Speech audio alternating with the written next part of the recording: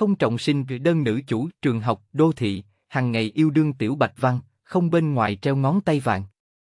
Bị ánh trăng sáng trong lòng ngộ thương, vốn tưởng rằng sẽ đối với chân lý yêu đương tiến vào thời gian hiền giả, lại bị tình yêu đích thực một kích trúng mục tiêu.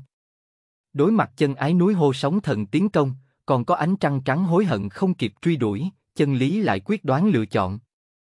Chương 1 Ngắm sai ánh trăng sáng Bạn đang nghe tại truyện chấm audio. Đã có lỗi xảy ra trong quá trình lấy test.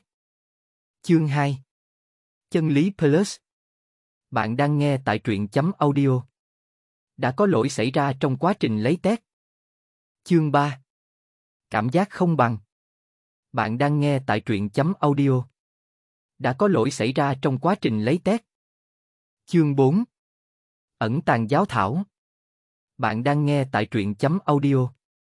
Đã có lỗi xảy ra trong quá trình lấy test. Chương 5 Người đồ ăn nghiện lớn Bạn đang nghe tại truyện chấm audio. Đã có lỗi xảy ra trong quá trình lấy test. Chương 6 Trốc Giang bắt sông Bạn đang nghe tại truyện chấm audio.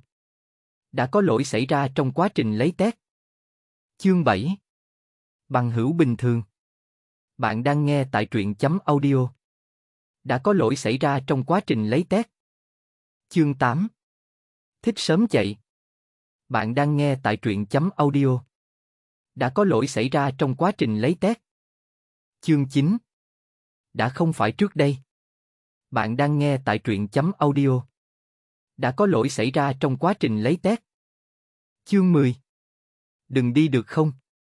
Bạn đang nghe tại truyện chấm audio. Đã có lỗi xảy ra trong quá trình lấy test.